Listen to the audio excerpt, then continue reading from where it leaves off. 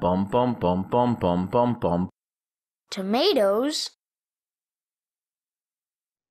Hello, and welcome to the video for what is the editor utility widget.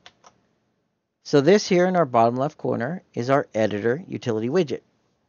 Now this was introduced in Unreal Engine 4.22 and it gives us the ability to make widgets using the UMG system inside of the editor instead of just inside of our project at runtime and then manipulate content both in our viewport here or our level as well as our content browser.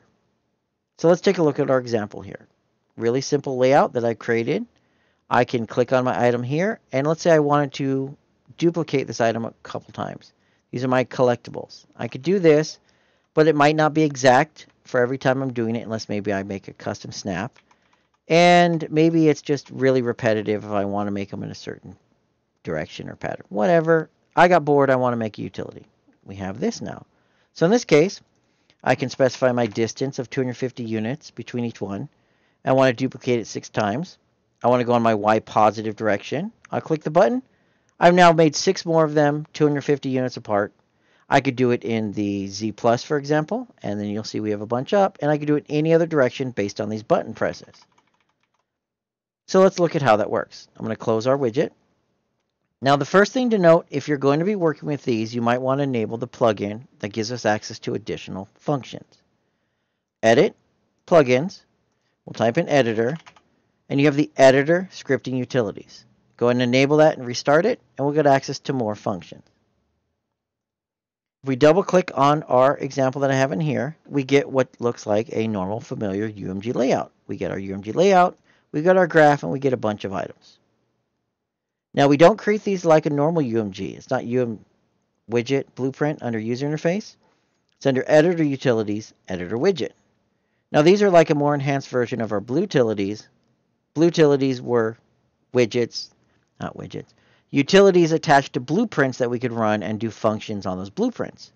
Editor widgets, when we create it and open it up, are a normal widget that we can run in the editor and it can manipulate anything we feel like. So you can see here, we've created a new one, normal UMG layout, normal graph editor layout, everything is like we expect like normal. We just work with the data in a different way.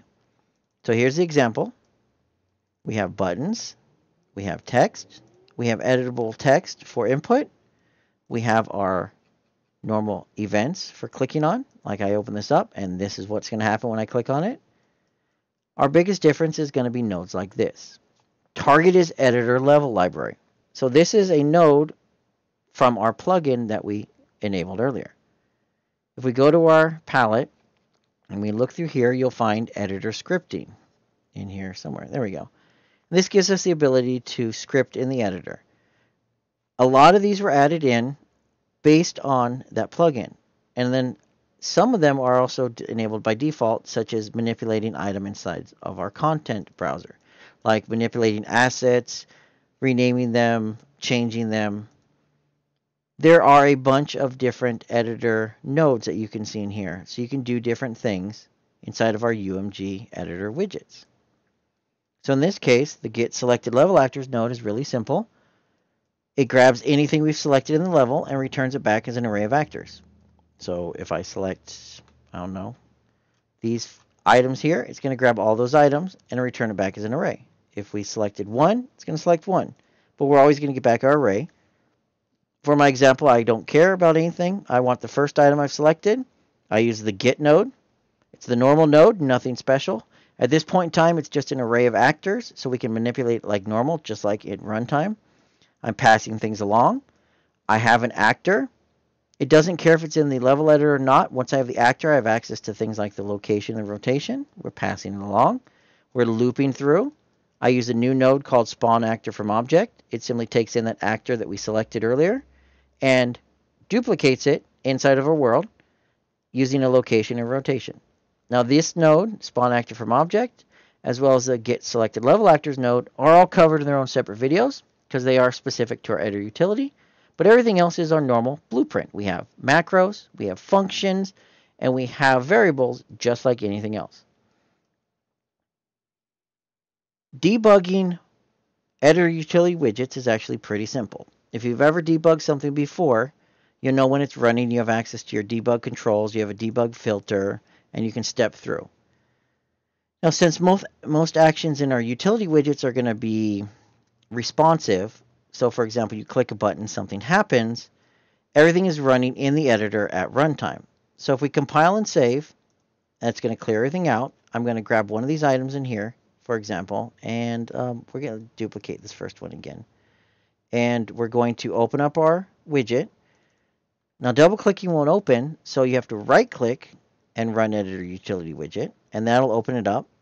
It is a normal window, so of course we can do whatever we want to it. In this case, I docked it. Or if you've opened it up already, you can go to Window, Editor Utility Widgets, and simply select that widget to pull it up. And I'm going to duplicate this once in the Z. It duplicated once. You notice since I've compiled and saved this, my values are reset to default. It's just like any other blueprint. It's going to reset back because this is our original item. So if you've changed anything, you might have to rechange it. There are other options of saving temporarily and such, but for now, it's duplicated. We'll go back to our widget, and you'll notice up here we now have something in our debug filter. We have our actual object that's running that's debuggable in here. Now, what did we do? We did the Z+. plus. So let's find our Z plus button. We're going to look at our Z minus button first. You'll notice we have no results in our get selected level actors. But if we look at our Z plus button, we have a result. Well, yeah, this isn't a frame where we had to pause the game in order to get the values. This is the editor that's running all the time. This ran. All of these nodes are still active and all their data is still contained inside of them until we compile or reset this widget. So in this case, you can see the get selected level actors node returned back the one actor I selected. If I selected more than one, it would have returned more than one. And then, of course, I just manipulated it from there. If we compile and save, you'll notice, well, something a little weird. If you've ever worked with UMG before, it's not that weird. Uh, UMG tends to stay around for about a minute or so before the garbage collector kicks in. So these are a bunch of other temporary ones. None of them are actually valid. Only your last one's going to be valid right here. And of course, we have no actors in our array because we've reset it. So all of the state, all the data inside this widget has been reset back to scratch. You can see I can do 250 times 22 compile and save, and you'll notice it reset back. Because I've reset the state of this widget back to default. It's created a couple temporary ones. I don't know why it does that. It just does it. If you give it a minute or so, all of them will disappear except the most current one, which is the one you're using. But that's basically it. That is a summary of our editor utility widget. It uses the UMG system for both coding and blueprints, as well as designing in the UMG layout system itself. We have special nodes that are inside of our editor scripting. We can script items both in our viewport as well as in our content browser using the correct nodes. And you can refer to the documentation as well as other videos for information on how those nodes work. You can right click to run it and that will bring it up anywhere you want. And of course you can move it wherever you want. And double clicking opens up to edit. Make sure you have that plugin enable for the editor scripting or you're not going to have access to all of the nodes and you might be a little confused. And that's it. That is the basics of the editor utility widget, introduced in Unreal Engine 4.22.